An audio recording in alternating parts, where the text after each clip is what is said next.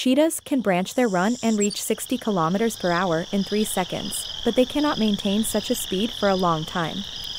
All life is interesting,